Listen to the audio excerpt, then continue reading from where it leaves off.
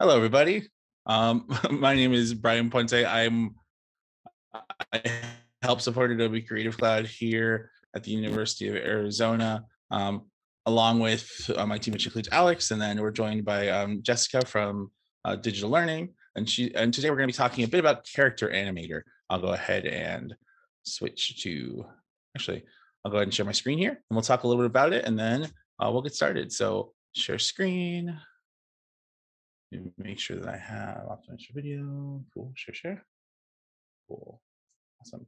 And hopefully you can see that this character is being entirely controlled by my face, which is pretty cool. So that's kind of the idea um, behind character animators that we're going to use this really powerful tool to allow us to not only do the things like we were just doing where you can um, stream your what they call a puppet this character here uh, to something like Zoom or whatever streaming platform you want, but also how we can talk about how this can how we can use this to animate sequences and do and and record basically video using our voice and then some um, triggers and things like that. So what Character Animator is is a pretty full um, fledged suite of software that's going to allow you to take a character, throw a background on it, and then um, using a bunch of different tools, including a lot of really cool pre-built characters if you don't want to create your own, to animate um, to animate an entire sequence or to use to present.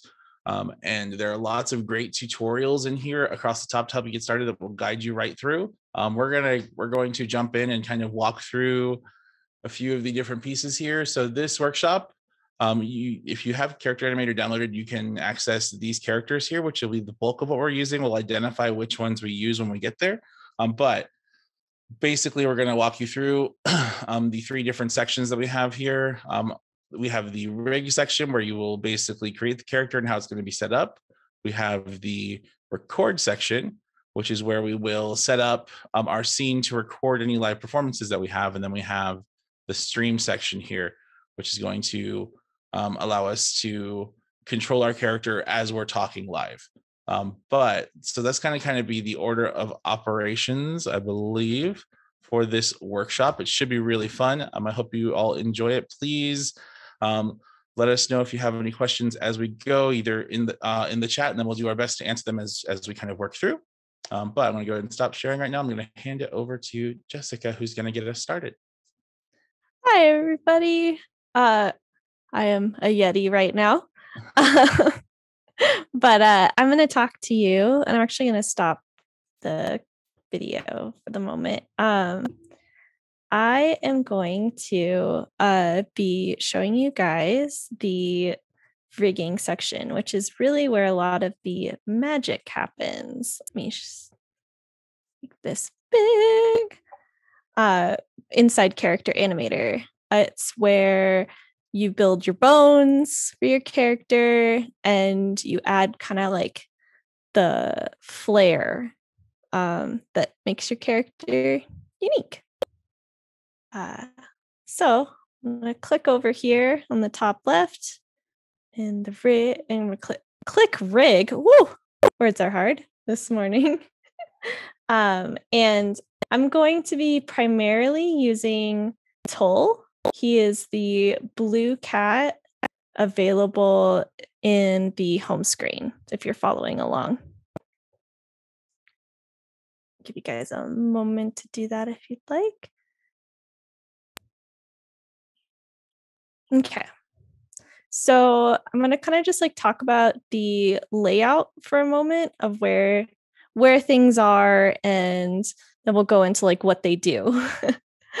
Uh, so this is the project panel. This is where you'll find all of your puppets, which are these like little kind of circle cone symbols. And then your scenes, which are the um, little clapper, movie clapper thing. Um, and then down below are the triggers, which we'll be talking more about a little later. Uh, but they are part of the the things that make your character unique. Um, they, you know, are different kinds of like animations that you can kind of pre-bake in. Uh, so at the push of a button, your character could wave, or they could change their expression to be surprised or excited or um, like angry or you know little hearts show up in their eyes kind of fun little accents like that um, and then over here in the middle front and center is the uh, puppet window and this is where we will be kind of looking at all of the different features of the puppet and how to rig it up.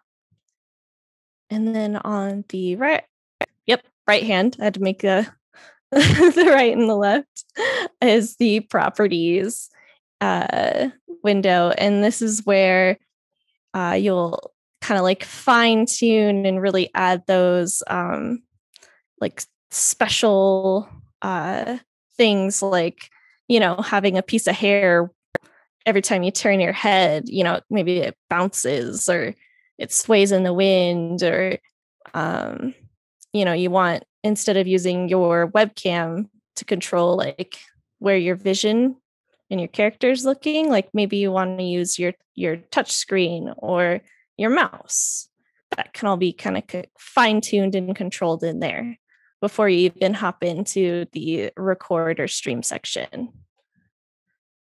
Okay, so rigging is like one of my favorite parts of um, character animator because it really is like building a skeleton. Um, and puppets have to be set up a certain way and we could that's a probably going to be a whole like hour and a half long workshop in and of itself, um, which is why we're using the puppets that are kind of built into the software to show you guys. But they have two two main parts: the head and the body. And inside each of those parts are kind of everything that the puppet will be doing or can do, um, including, you know, all the things you would expect on a head ears, eyes, different kinds of uh, like blinks. And same with the body. We got left arm, right arm, uh, the torso, legs, and this one has the tail. So he has a tail because he's a kitty cat. Uh, and when character animator is taught like in character and puppet layers, they're talking about the uh, characters left. So our right, it's a little it's a little weird when you're adjusting to it, but it uh flips. So yeah. Characters left is our right. Our their right is our left. So I'm going to be talk whenever I talk about left and right, I'm going to be referring to the characters left and rights. Um, Okay. So back on track here. Um, in this layer panel, uh, you'll see this like crown icon. That means that the layer is independent, which basically means that it can function and does things on its own. When a, a layer isn't independent, it will stick to kind of like whatever the the like main body area or the origin point, which is usually like the middle or the center of gravity for a character. Um, it's I can here. I'll turn. I'll show you what happens when uh if we were to make like the head part of the head maybe. Here we'll make the eyes non-independent. So I'm going to swap to the uh, record screen over here um, to just kind of demonstrate what what happens when things aren't marked as independent and no longer like function on their own. Oh, let me open up my scene with Toll in it. So, oh,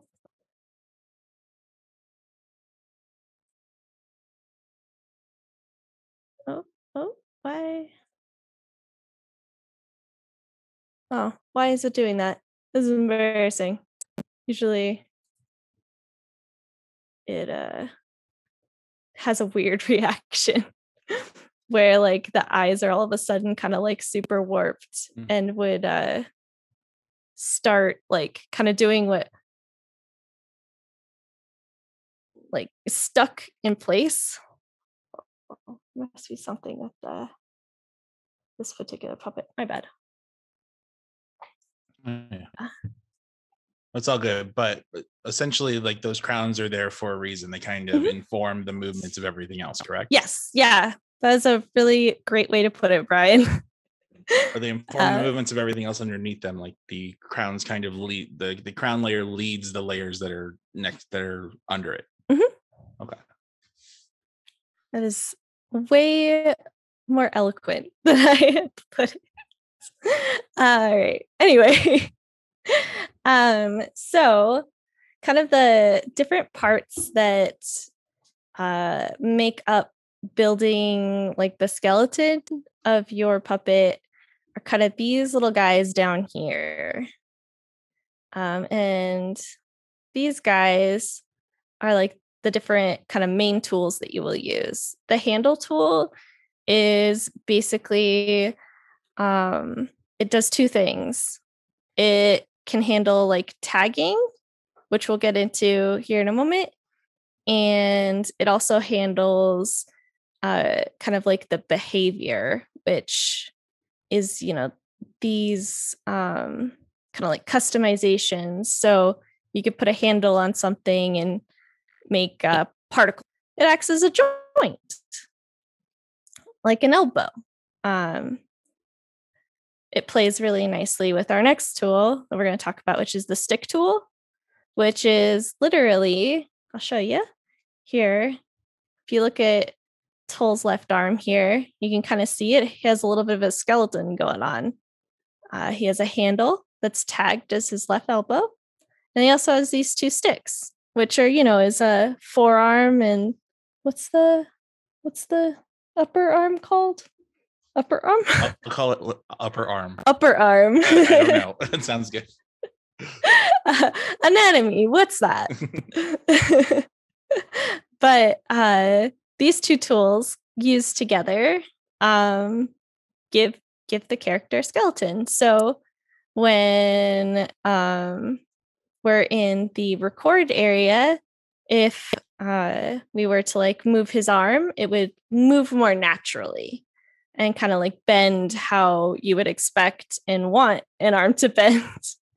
Because he also has this behavior called draggable uh, attached to his left hand. So in the record area, um, we will be able to kind of click his left hand there and we could drag it around and position it. So maybe we wanted him to wave at the audience or, you know, put his arms down and not in the kind of traditional in animation, it's called like a T pose where your character's arms are straight out and they're just kind of standing in a neutral neutral position.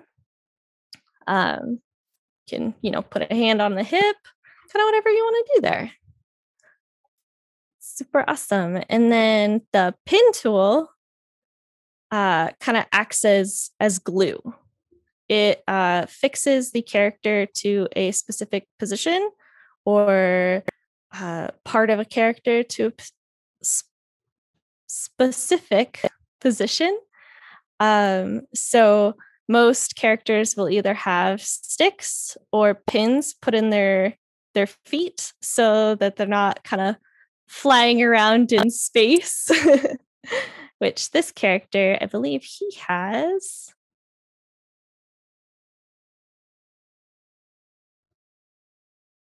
Where his yeah, he has uh some sticks put in his um his feet with the fixed tag, which does the same thing as the pin. So if I were to actually just delete that, I'm gonna kind of actually show you what happens.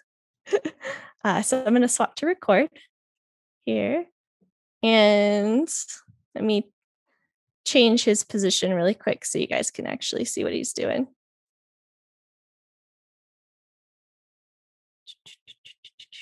You can kind of see how he how he's uh not exactly on the ground anymore. And he's moving with my head. Um, which is uh Brian had said earlier is kind of the main way that you control your character in character animator. So we definitely want to want to pin him to the ground. um, so I'm just going to put some sticks on him and then I'm going to tag it as fixed so he doesn't wiggle around anymore. Oops. But uh, and then the talked about the pin, uh, the dragger. I kind of mentioned that a little bit ago, but that one, um, the arm. Where are you, arm? Arm. It's uh basically the draggable tag.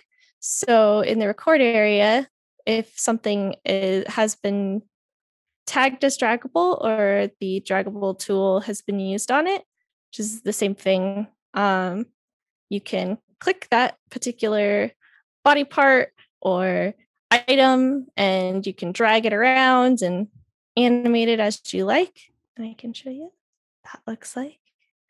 So for Toll, you can see he has the draggable tag on his arm and I can use my mouse to move his arm around. So maybe I wanted to put this arm on his hip and maybe this one in like a natural talking position. So he's like a little, little more engaging. And then uh, Brian will go into this, but you can actually kind of record these kind of movements too, uh, and swap your hands around, and it's, it's so powerful. All right, I'm gonna swap back to the rigging area. Uh, and then the last one is my favorite, and it's the dangle tool. And what the dangle tool does is it gives uh, handles and things that have been like that you use the oh my god words. The dangle tool does what it says. It uh makes things kind of dangle or they're affected by physics. Um so toll actually has a few hairs that have dangles on them. So every time you move your head it'll kind of jiggle. And has a little just a little bit of fun fun personality.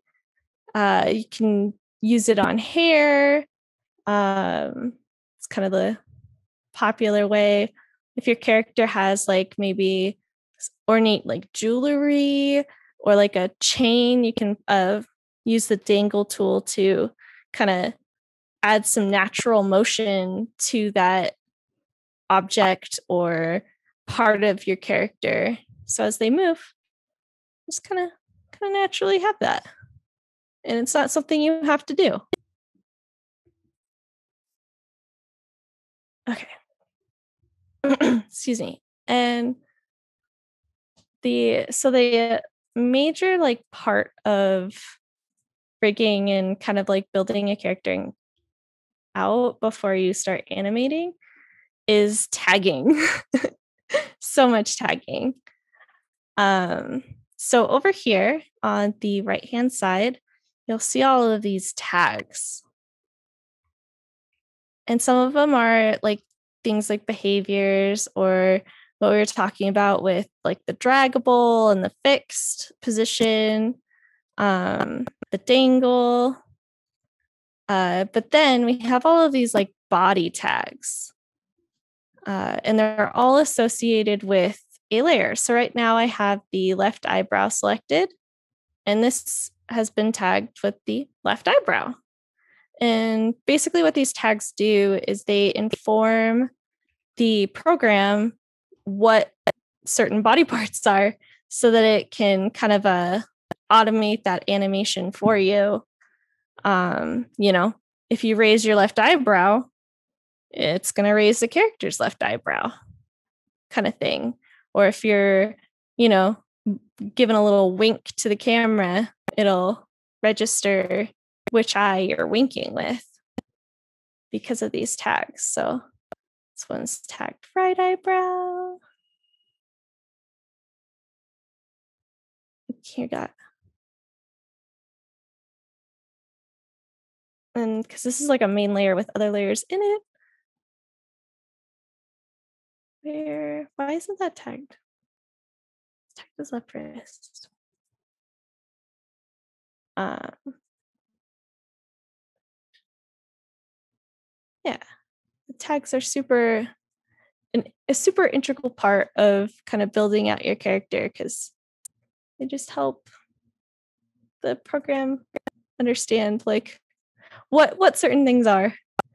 Um, I think a really great example of kind of like taking the tags even further because you can have multiple like head head views. So if you were to look down or to the right or to the left, those kind of tags would also come into play. Oh, is there questions? My, I don't know where my chat went. Oh, that's fine. Actually, I think now's a great time to kind of ask. We've covered a lot of ground here on Yeah. how the background of a character is made. Um, what questions do we have here? Um, as you're kind of thinking about those, everything that we're doing here informs what's next. Um, and all of these characters are built in either Photoshop or Illustrator typically. Um, and uh, all of these kind of pieces align with layers that are there. And uh, basically, all of that is kind of the bones behind the magic of how these things move and work. Uh, so, what questions do we have about this um, rig section?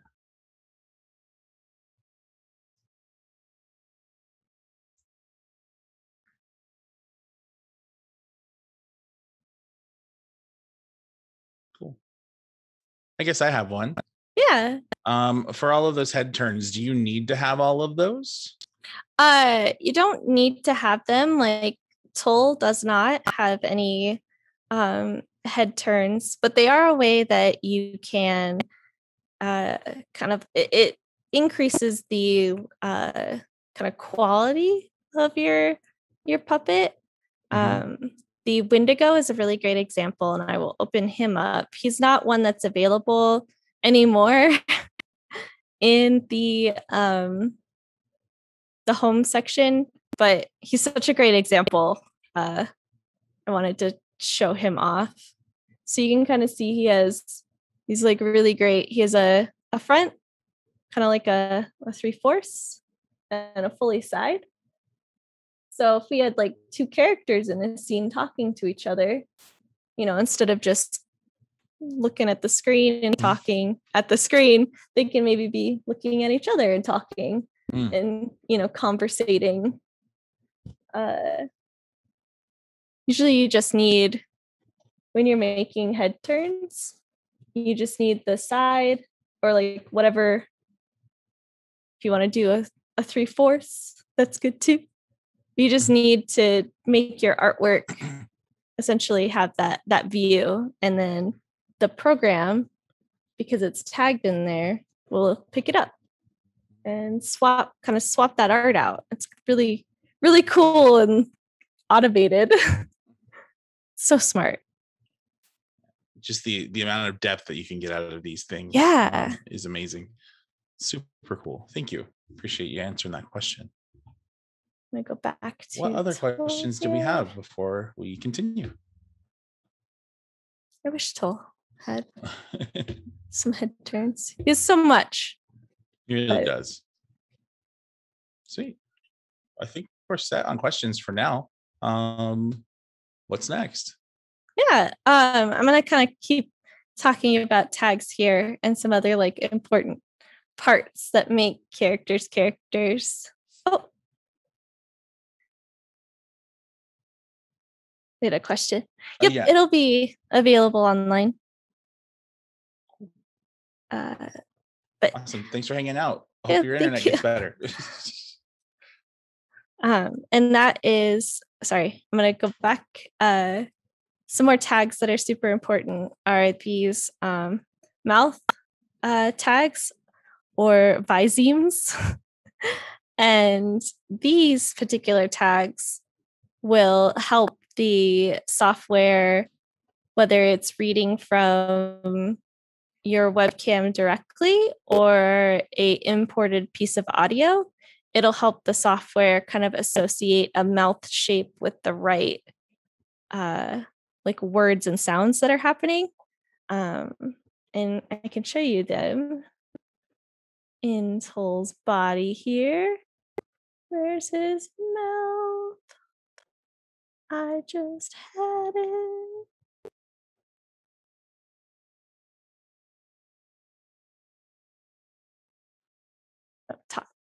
So it's in this uh, talk contents layer here.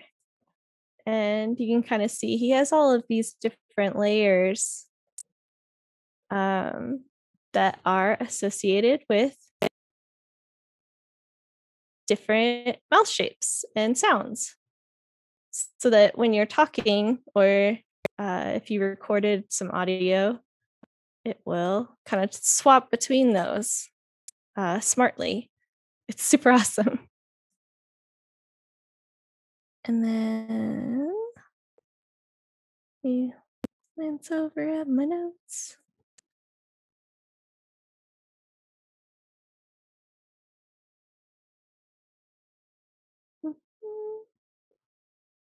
Okay.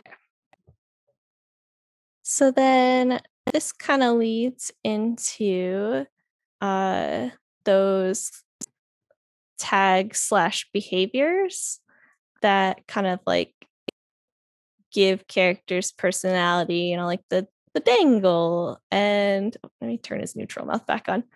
Um and like there's there's so many. Uh so behaviors are really really the things that like make the character unique or make them you know seem real and uh something dynamic toll has nine behaviors attached to him and you can see that up here in the puppet window right here if i if i go over it it'll disappear but uh, it's right here. It's kind of like that little box shape. Um, and when you hover over it, it's showing you the behaviors that he has attached to him. So he has that dragger that we kind of showed off where his arms were moving. Um, eye gaze, which uh, smartly informs the artwork of your eye gaze that's from your web camera so you don't have to, you know, animate, go in and like hand animate those eye movements if you don't want to. It can track your eye eye movements uh, for you. Super awesome. Uh, handle fixer, that's the the thing that was kind of attaching him to the ground. Limbs, um, self-explanatory. Limbs. lip sync that takes that behavior is what um, controls those mouth shapes that we just talked about.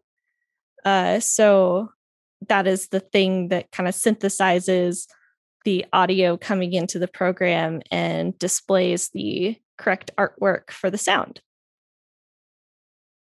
uh, physics that's kind of controlling the actual physics of the environment that the character's in. So um, if uh, like he was in like a, a wind tunnel or something, like you could control all of that using physics. So, you know, like his his dangles, anything with that dangle tag uh, is directly affected by that those physics. So if we were to like mess with them you know his his little hairs could like shoot to the side or you know flop flop down really heavy because maybe the gravity is uh really high um and then the other kind of like ones that are always there like transform so that's going to control like where you put him in space scale um kind of like the traditional transform uh, in other Adobe programs.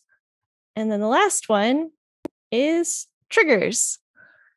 And triggers are super awesome because you can, in all of these layers, build in different elements that don't need to be on per se, but you can give it a trigger and you know you could tell your puppet you could make a piece of artwork you know where your puppet's pointing and you could make a trigger for point and the program will swap out the like hand or whatever um, to show that action um, it's it's super awesome and it'll you can like cycle through layers too uh, for like maybe a complicated movement like um, when we were all in the meeting room you kind of saw with heather she has her little her little poofs that come on and these are all triggers. So she has her little poof and her hat pops on and then she has her her head with the hat.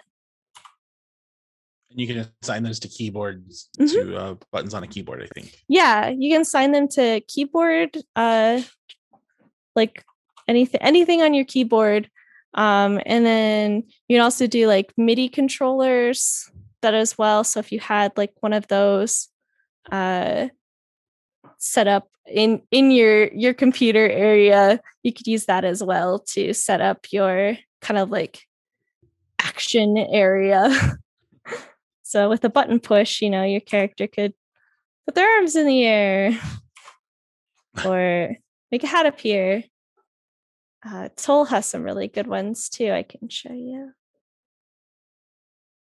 So he has like uh you ever talk about point he has a little point there. Let's see what else does he have?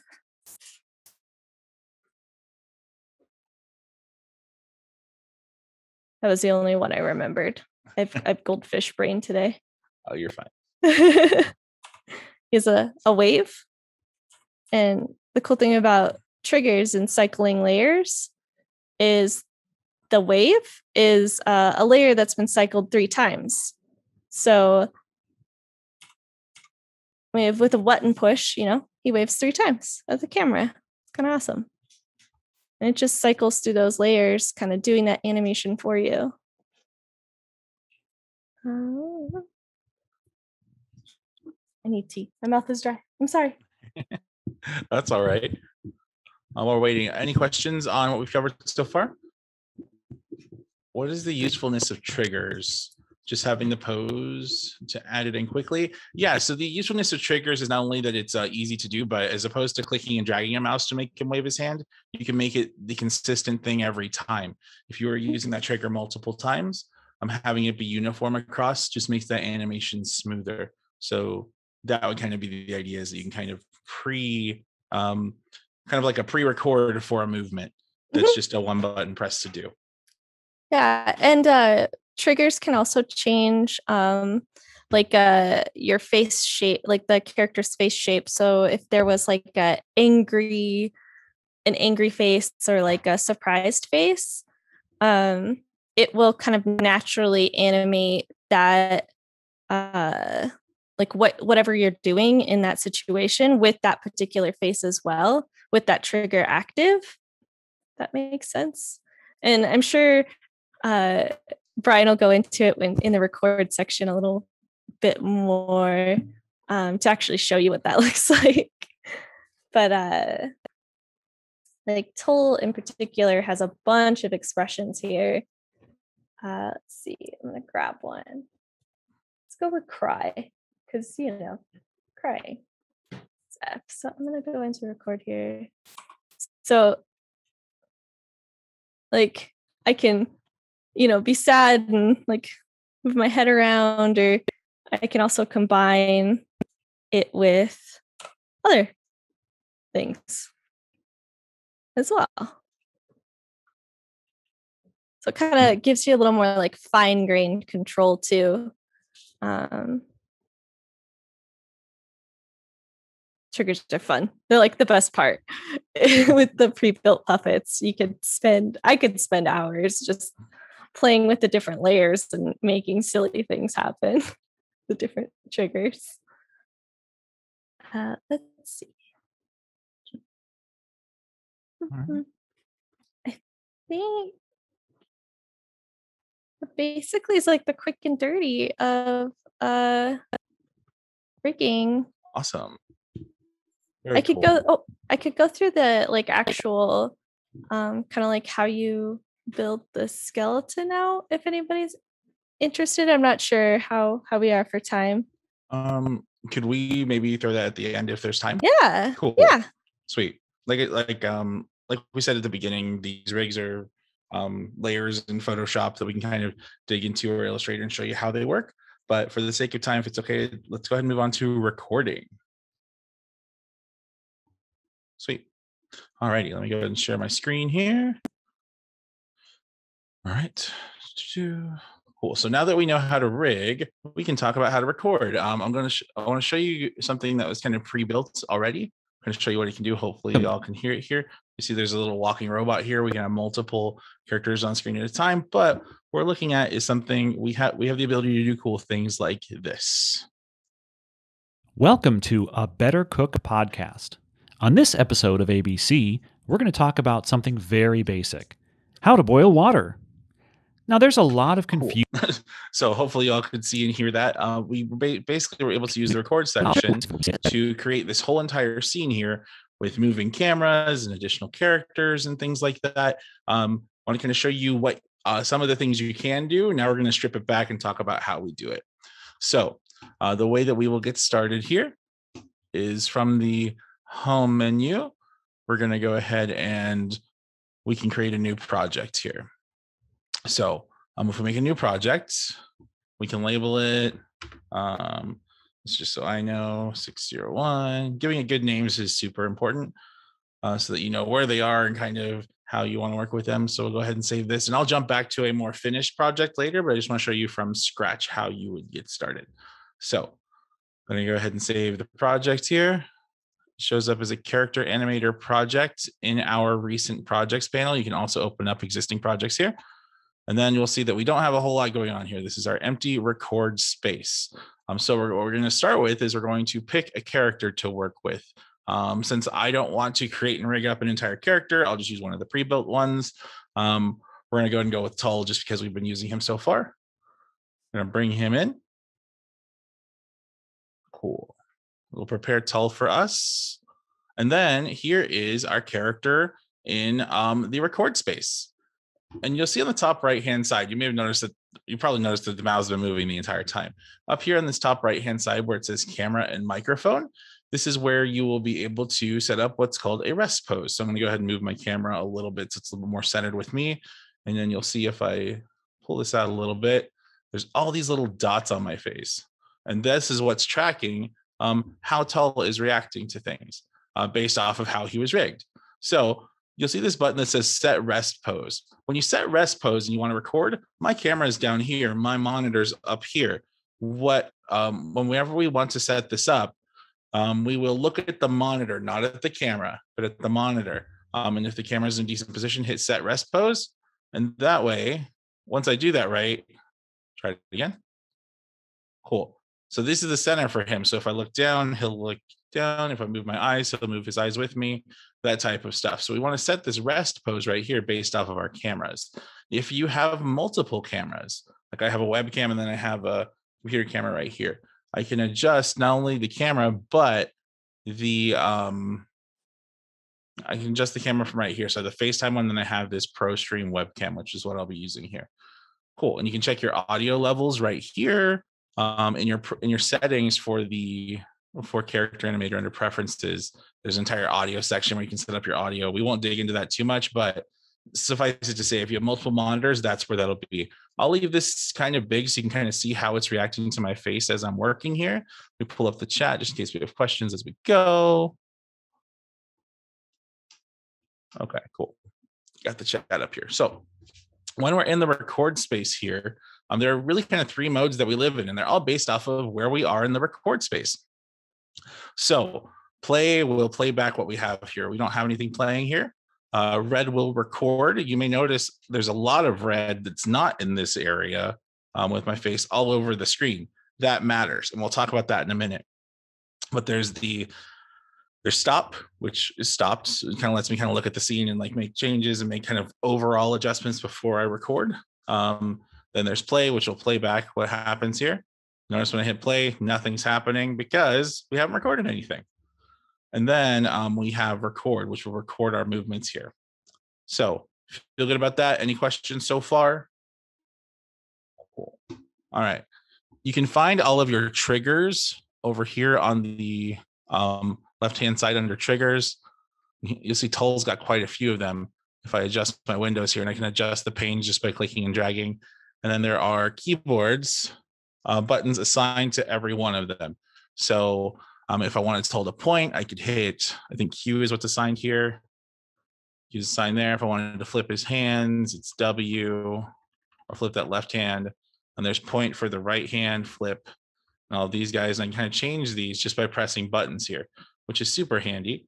If I need him to point at something or move something. Um, he also has gestures, as we kind of talked about, but basically all of our triggers um, are available to us in this trigger menu here with keyboard shortcuts. If I wanted to adjust those shortcuts, it's pretty easy. I just click on like, so here for point, it's P, that makes sense to me. But if for whatever reason I want it to be something else, I could click right here, a little cursor thing shows up and then I could put in zero if I wanted to.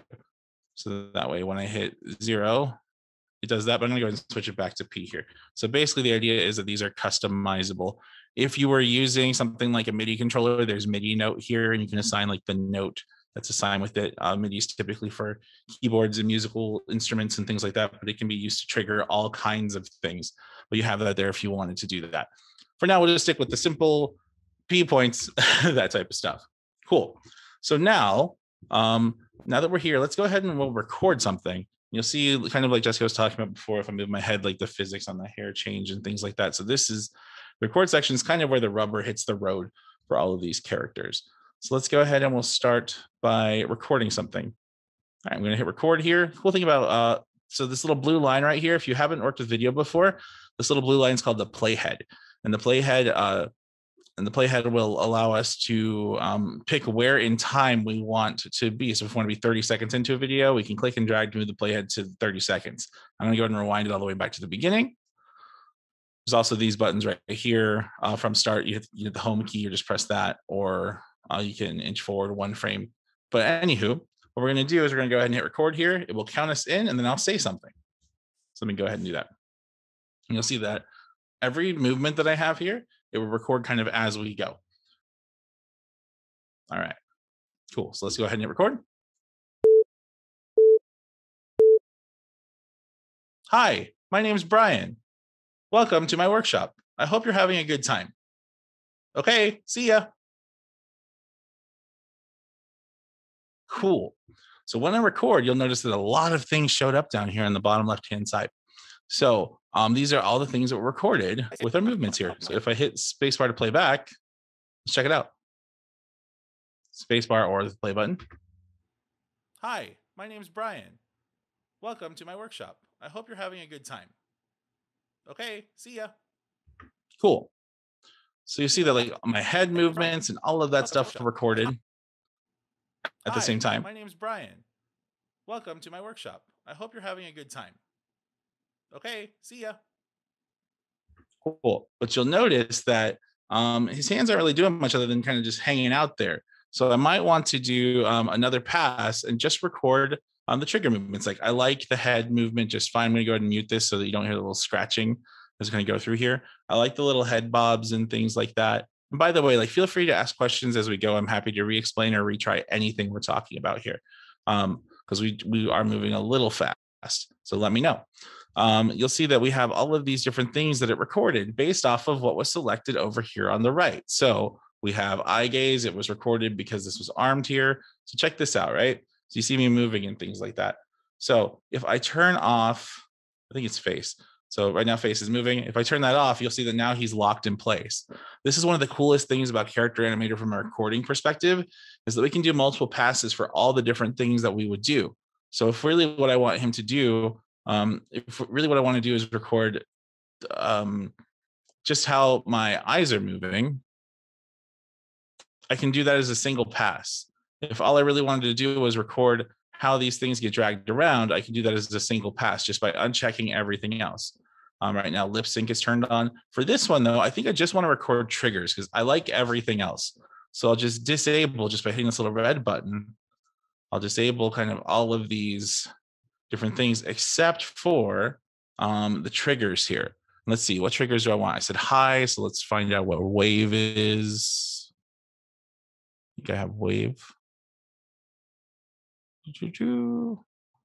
All right. Cool. Wave is C. Cool. And let's do, so let's switch between point and wave. Cool.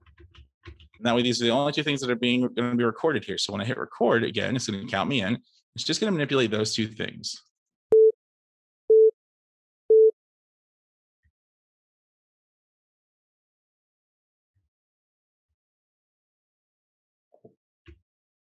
It would help if we could hear it.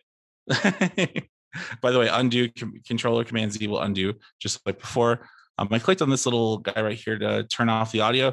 It's really hard to cue in what you want him to do if you can't hear him. So let's try it again. My fault. Thanks for putting up with me there.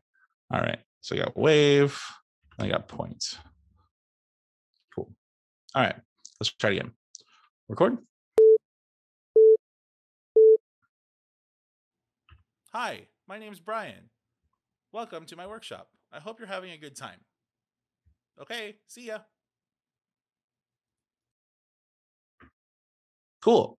So you'll see right here under triggers, all of these different triggers were set up, right? And I recorded them.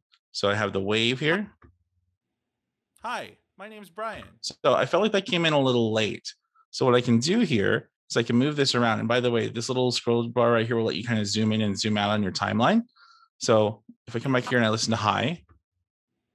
Hi, my name's Brian. See how that felt? Hi. Cool. So I can mm-hmm. take this right here. This is the wave that I have. I can click and drag this to move this to the left and kind of edit his movements. Hi, my name is Brian. Welcome to my workshop. I hope you're having a good time. So we can move that.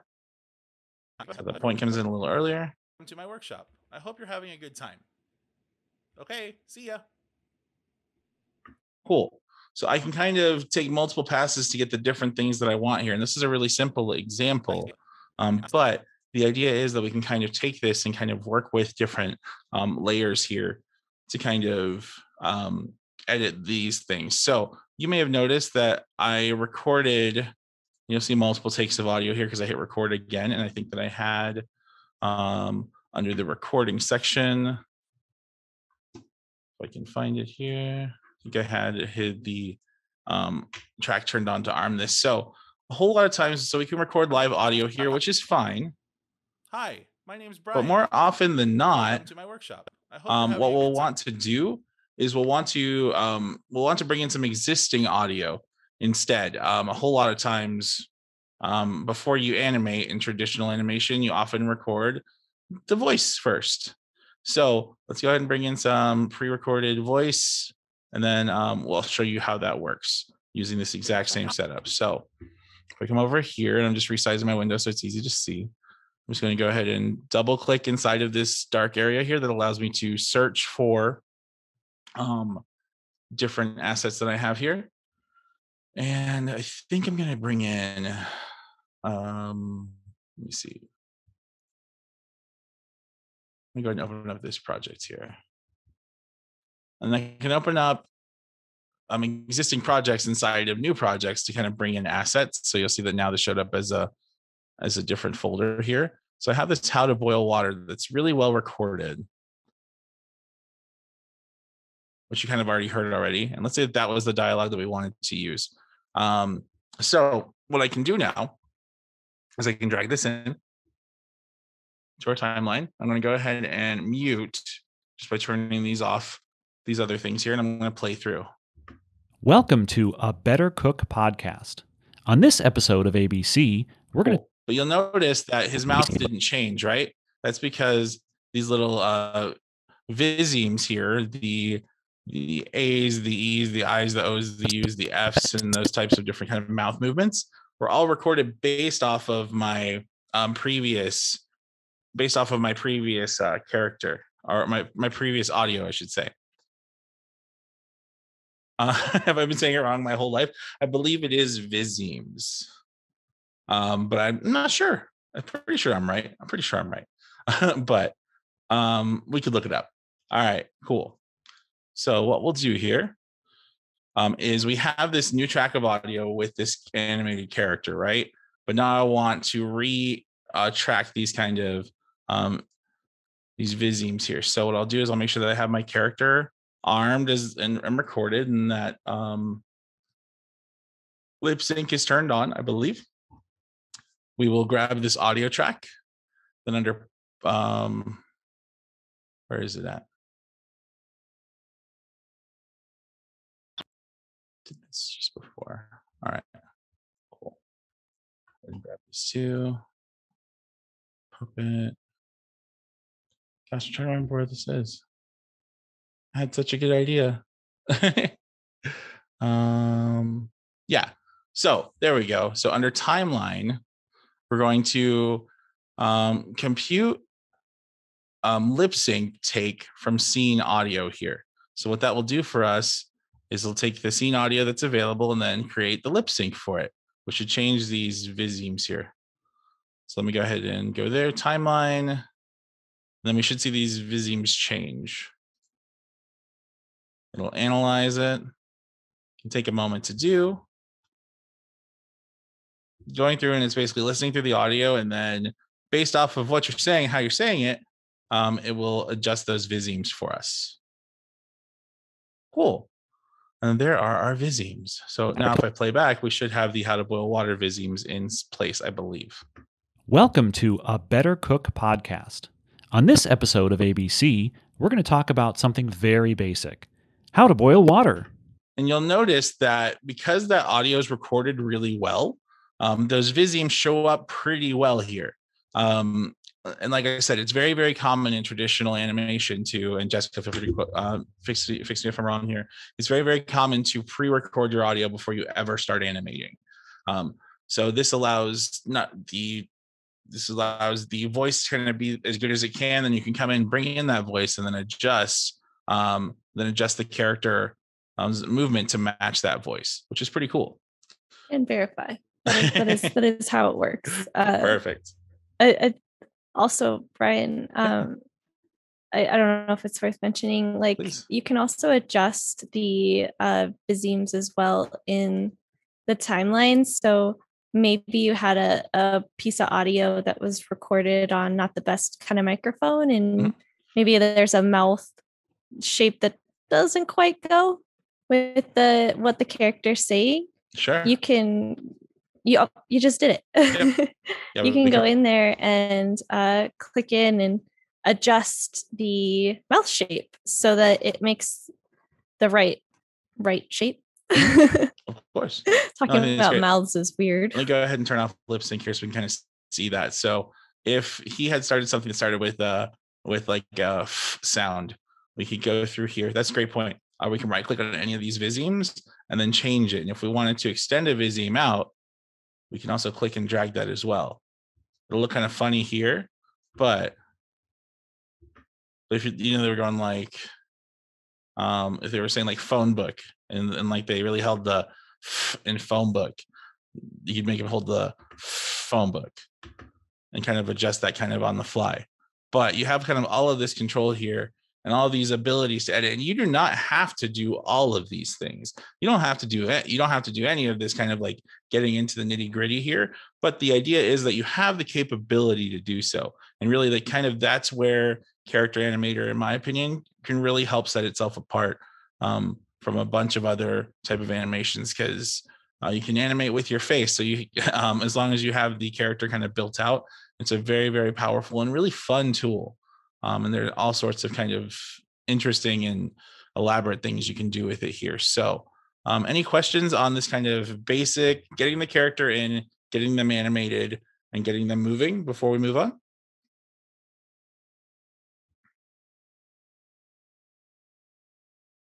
cool all right So, um, for the sake of time, I just want to talk about a few other things here. Um, you can have multiple characters on screen at the same time, which is great. Uh, so let's talk about how to move a character. Then we'll talk about how to add a different character. Um, and then we will talk about how to um, add a background. Um, cool. So what we'll do here is we're going to go ahead and bring in another character. And again, we use that records, we rec- use that record function to kind of record, uh, to kind of switch who we're choosing. So we're going to go ahead and bring in Red Monster here. I can click on Red Monster. He'll load as his own scene. So you notice that there are scenes here, right? So there's one that says scene Tull and then scene. They look like little clapper boards. Like um, you ever seen like a movie where they're like cut, or right before they record, they have like a little clapper board that comes out. I can't find mine here. but, um, but anyway, um, so we're gonna go and go back to the scene with Tull here. Just by double clicking on it. And then here's our scene with Tull. We're gonna go ahead and bring in Red Monster here. This little kind of character icon here brings in a character. So I'm going to go ahead and we have these little triangle menus. We can collapse that down. Um, and then I'm going to go ahead and click and drag in the red monster here. Cool. So now I have two characters on screen at once. Um, so this guy's sitting on top of Tull. So let's move him real quick. Under the transform menu, which is a very common space to find movement options in all Adobe applications, uh, you'll find not only scale, which is going to let you adjust how small or big he is, but right above that, you'll find position Y and position X. You'll also find anchor point Y and X. We're not going to talk about why you shouldn't move anchor points right away unless you unless you want to. So we're going to go ahead and kind of leave those alone. We're going to go ahead and adjust position X just by clicking and dragging on the zero here. Click and drag to the left, he'll move left. And then I'll click um, and drag on position Y. We can slide up and down to kind of move him where we want him. So there we go. That's great. Now we'll go to Tull by clicking on Tull here and do the same thing under transform, kind of give everybody their own space. So we have kind of a host and co-host situation going, right? Cool. All right, so that looks good. And then we're talking about boiling water. So we'll probably want to put them in a kitchen. So let me see if I can find the kitchen image here. So the kitchen kind of shows up as an asset. And I can click and drag this and drag it underneath there. The little blue line indicates that we're moving underneath something. Put it under there. Cool. Now we have our kitchen, but the kitchen's too small. So what we'll want to do is we'll want to go down to scale and scale it up. Cool. Now they're both in a kitchen. Now, when we talk about boiling water, it may make more sense. So let's go ahead and play it back and we'll check it out. Go ahead and show this. Welcome to a Better Cook podcast. On this episode of ABC, we're going to talk about something very basic how to boil water. Cool. So now we have that. Um, but this other character is kind of sitting still here. So let's bring him to life a little bit. Here's kind of the cool thing. Um, if I go to Tull here, we'll arm him and then we'll turn on kind of the usual stuff. See how he's like, move, see how he's moving now and things like that. Um, if I click on this guy, I can kind of arm him and get him moving too. So I'm going to go ahead and turn off the um, lip sync for him. Oh, oops, I clicked Tull.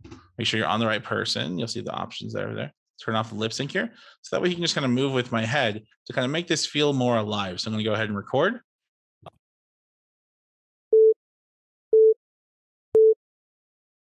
Welcome to a Better Cook podcast.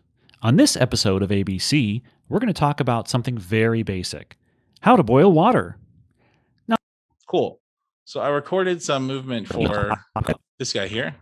Welcome to a Better Cook podcast. On this episode of ABC, cool. we're going to talk about.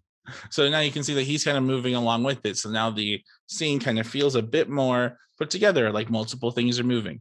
But the idea is you have multiple puppets in multiple spaces doing multiple things. And I think the really elaborate one that we pulled off here, which also has a camera movement, so you can add a camera and move that around. Um, and if you wanted to add a camera, like if we wanted to, if we go to scene here, or where is it? Let's, see, let's go and select this in our timeline. Where's the camera? New scene camera. So under scene, new scene camera, this uh, brings in like a camera that you can move around and adjust, and you can adjust like zoom in and zoom out. Um, and the reason why you want to use a camera as opposed to scaling everything is that once you have the scale set up normally for the scene, if you just wanted to zoom in on a person or or or character, you can do that. And then you can even set this camera movement up as a trigger. So we can uh, make this a triggerable shot and then assign like a button to it. So that way, when we wanted to kind of cut into this close up, we could do that. And I won't go too deep into that, but the idea is that you have all of this flexibility where you can literally set up an entire animated scene that you can kind of switch however you want. All of these triggers and things like that work in the stream setting as well. Um, so pretty cool. Hopefully, you think it's neat. We do. um, and I hope that you get a chance to kind of try it out and work with it. So, um, kind of showing you how that works. Are there any questions on this so far? And by the way, like if you change these positions and you don't like them, a lot of these little guys have little um, X buttons here that we can press that will allow you to reset to zero. You can also just click and dial in the number you wish. Cool. Awesome. What questions do we have while I grab the next scene to show you how to export?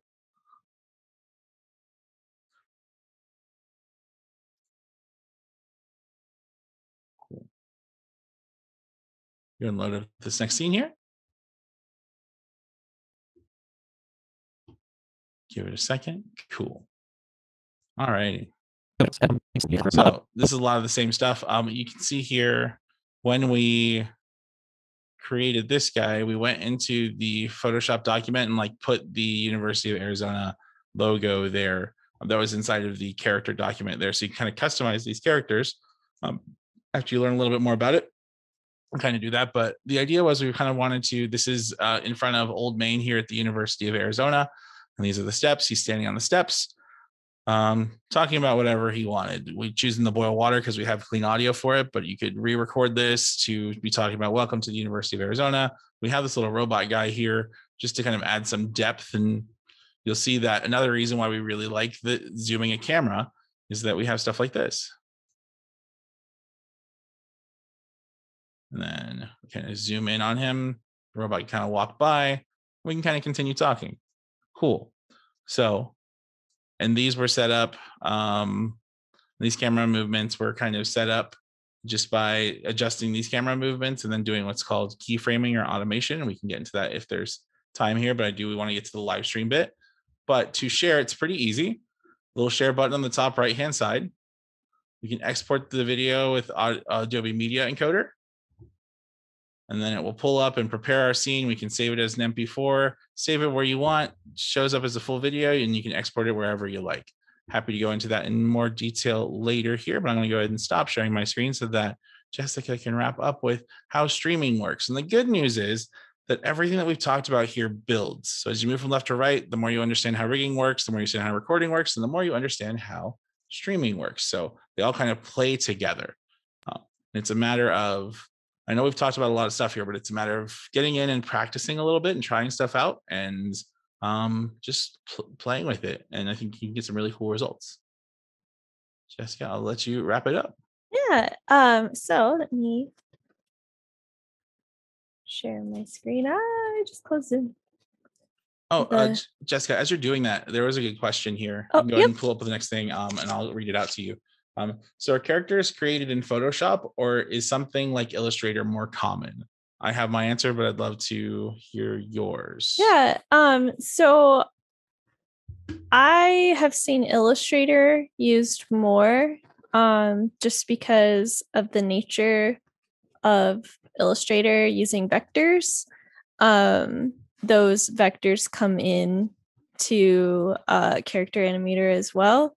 So uh, when you have like a camera movement that maybe zooms far in, you're not losing a ton of quality on the character um, because it's in a vector format from Illustrator. But there are like Photoshop is totally acceptable as well. There's definitely like the the strengths of each of the programs could play into the type of character that you're trying to make um, uh, like if you're wanting more of kind of the traditional cartoon, I think Illustrator would be a great option. But if you're wanting something maybe more painterly or you know like a character like heather here who has you know kind of like some fun features and this really great like hand painted background it looks like photoshop's probably the right choice so it depends i suppose that's what i'm trying to say and there are so many different styles of puppets like i think there's a claymation one like on the first page it's yeah. a doctor like that you probably make in photoshop. Mm-hmm. um just because it lends itself better to like giving you higher fidelity on those images. You just need to like not zoom in as much if you're trying to get in really tight. Or use that larger mm-hmm. uh like high fidelity images. Um, awesome. that's a really good point. Yeah great question. Thank you for helping me answer jessica. Sorry for the interruption oh you're fine. Um so the last section here is the stream section and uh it's honestly one of the the funnest parts i want to say uh of character animator because you can create things on the fly and use your character in like you saw at the beginning of the workshop in a zoom call.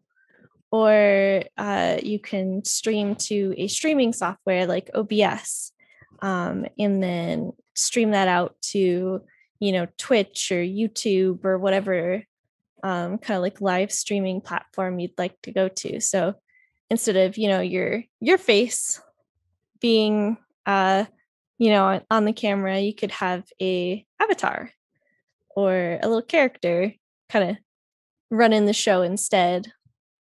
It's super awesome and super fun. Um, so, uh, similar to the like record section, we have kind of our little scene here. Um, and the timeline down here in the left hand corner. The timeline is very simple compared to it's the same, but it's all hidden. Uh, but it's it's basically the same one. So if you had a background, like I could drag this classroom into my scene for my live stream. It's really a big picture, so we'll fix that in a second. but uh, I could give my character a background and put them somewhere. Um, which is super fun. And then my personal favorite part of the stream area that I wish existed in the record area was this control panel here. And this is where you can control your character. And it also has a kind of visual interface of the different triggers. Um, so I can kind of kind of get a little preview of his different expressions. Um, you know, like I can see his his little greeny face here, his like, huh? Confused face. Um, and these uh controls are are clickable, but also, you know, if I were to hit the keyboard uh shortcut for it as well, it it goes off. I like I, I like clicking them personally. Uh, and then uh, we also have the same kind of properties over here. So um, you can kind of see we have the the lip sync that's you know the taking in the way of my mouth is moving and translating it through. Um, the eye gaze, the different draggers.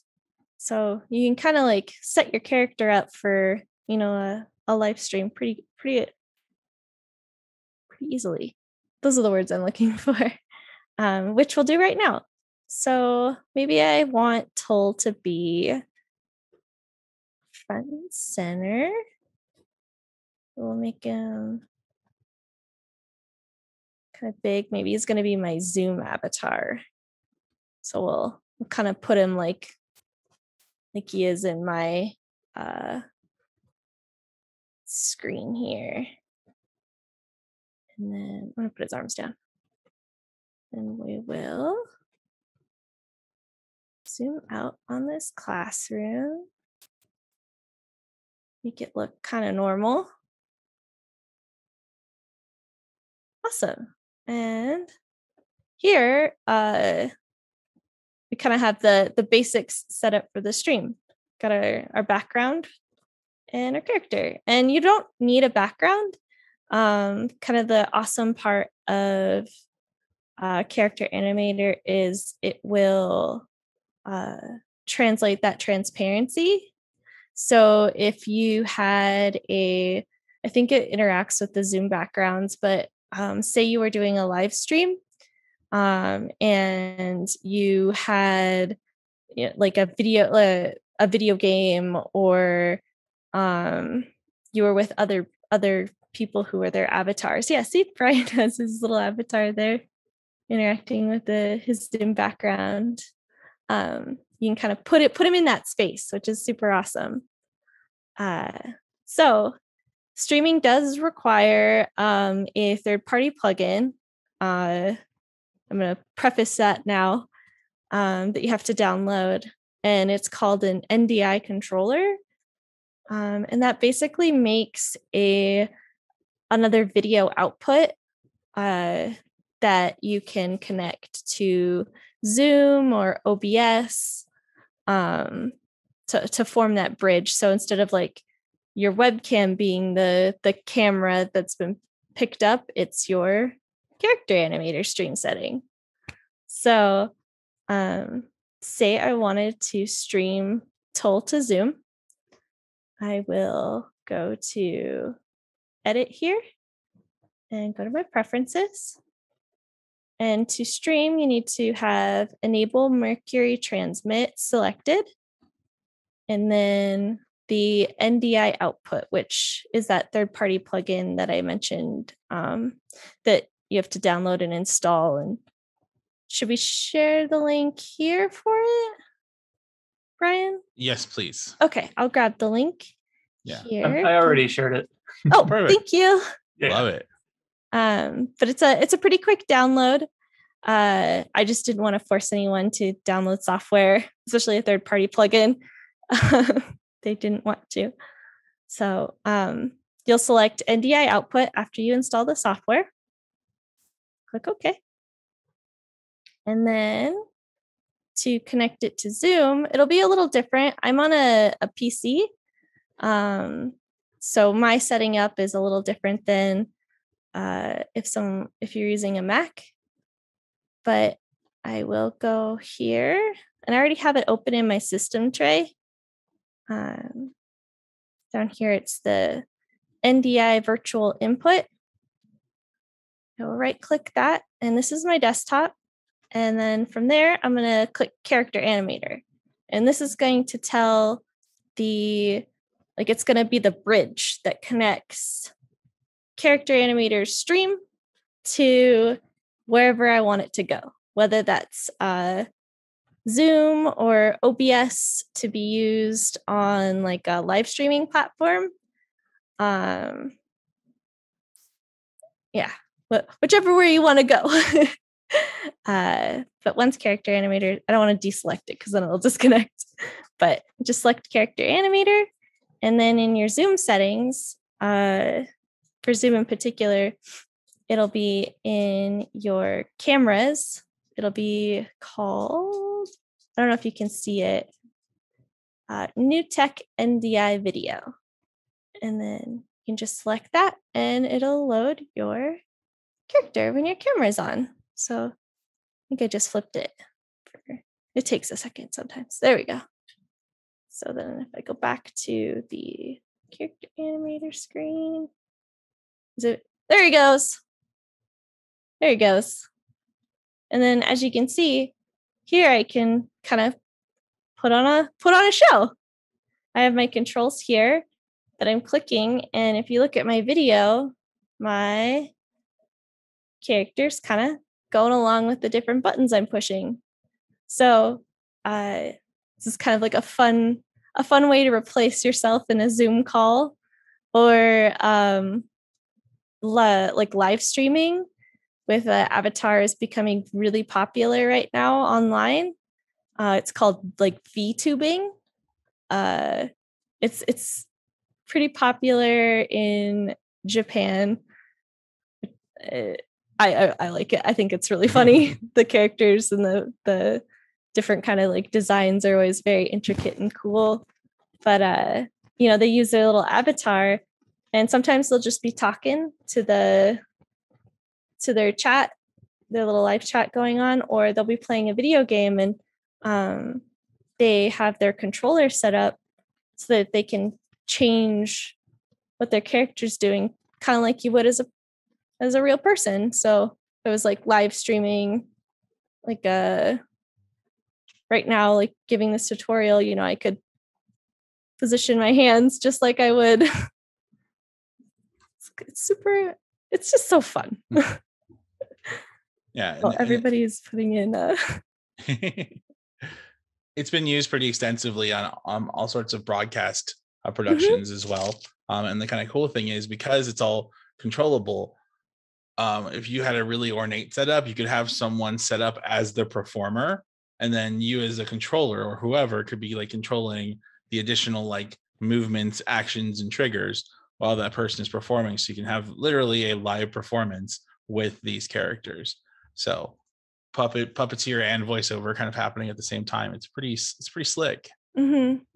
I think that's how a lot of the like professional uh like VTubers do it as well. They have their uh like they they have the actor, quote unquote, who's you know in charge of moving around and con- you know controlling the puppet and then you have the person who's like oh she said something you know she's mad hit the hit hit the button to make the mad expression or the you know oh oh they're crying.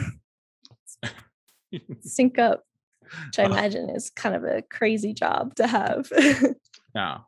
But i think but um yeah i think that the point is that like this can be a very very um, easy to use tool to stream but it can also get very very um big and mm-hmm. ornate if you want it to be. So you're working with professional grade stuff here which is cool.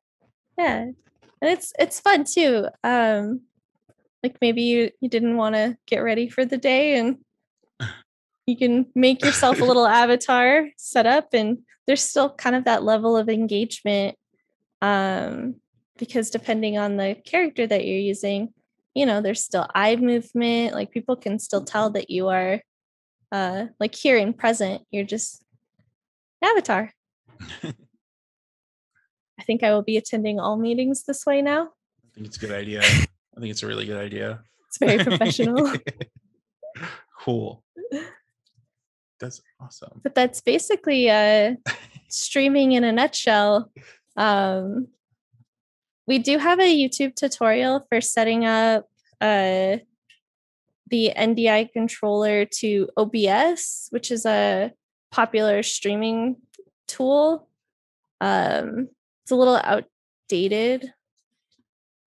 It's a it's a by one of like the developers for Character Animator, but uh, we could link that as well if you're familiar with the software um, and are interested in using it yeah. to uh, stream and, yeah, and if you're not familiar with it, like so, Character Animator is great, and we can do things like set up backgrounds and things like that really easily. But the benefit of pairing it with something like an OBS would be for if we are if we want to basically change what's happening behind us on the fly. Like if you were using this for an active lesson where like you had a digital whiteboard that you were writing content on and you wanted this character in the bottom left hand side talking while you're doing that, going to something like OBS would give you the ability to do that significantly easier when, um, than if you were to do it just from character animator character animator is really great at building um, the character and giving him a space, giving him or her space to live in the environment. But um, if you wanted to like stream other live content, pairing this output to something like OBS that's better at that is a great is a great solution. Mm-hmm. That's a a good point um, because you can't uh, like connect a different background essentially to your stream. Yeah. You kind of need that intermediary, which is OBS, mm-hmm. to do that. But if you don't want to do it and you wanted to set up just like Jessica's is here, like it's perfect for that. Mm-hmm. And you can absolutely set up multiple backgrounds. It's more like that live. Think of it more like if you need that live feed, um, then you probably want to pair the output of this to something like OBS. I Awesome. Trigger background swaps um, Mm-hmm. with keyboard shortcuts. It's like I have my classroom here, but maybe I wanted to be outside. Uh, I could, if I had a background um, that was like outside, I could associate that with a keyboard shortcut and swap it around. Awesome. Quick scene change. Love it. Cool. Uh, what questions do we have here? We've covered a lot, and it's and it's been really fun. But what questions can we answer for you?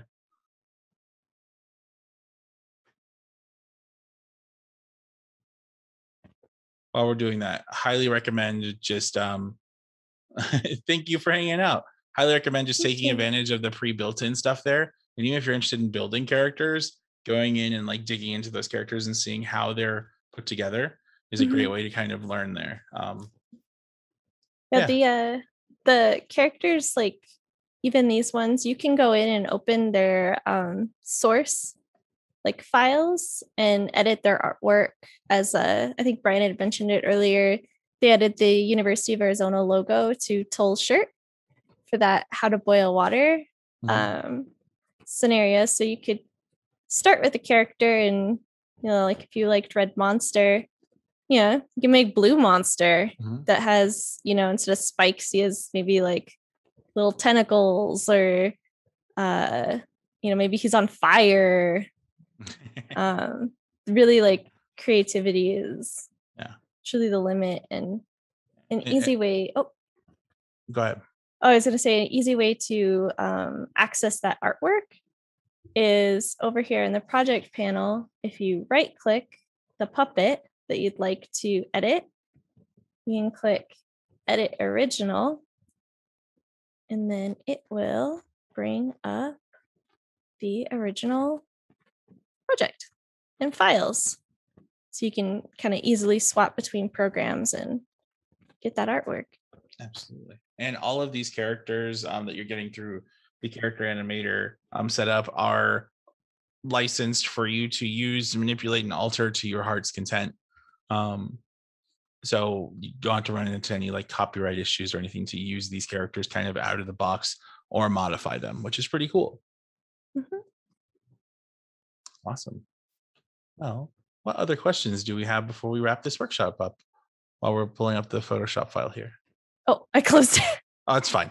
It's cool. You go in and edit the Photoshop file. We promise. Cool. Yeah, I opened it and then I closed it Oh, it's totally fine. like a very smart person. Ah, It's happened to me so many times. All right. It's like, I don't need this. I can close it. cool. But we have all of his Well, different. Huh, cool. And you can go in and change the eyebrows and things like that. It's a great way to kind of no pressure jump in and uh, kind of get playing with character animator. Yeah. I'd highly re- recommend the whole like Tully change, like add a logo to his shirt type of thing. It works really well. Yeah. It's a easy swap Mhm. or changing the color. Cool. Well, we are getting close to time. Um, so um, we'll be around if there are any other questions, but I would like to thank you for joining us here at this um, bringing your characters to life with character animator workshop. We had a ton of fun. Hopefully, you learned some stuff, and we look forward to hopefully hearing about your Zoom meetings and how you're using this um, in your workspaces. Thanks, everybody. Have a We're good one. we're going to infiltrate all professional meetings now with uh, avatars. I'm all about it.